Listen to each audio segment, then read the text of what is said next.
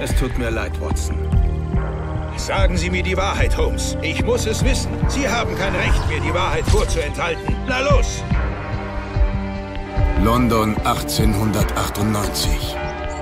Was, wenn der größte Detektiv aller Zeiten auch der gefährlichste war? Ein cleveres Kerlchen, ein Genie,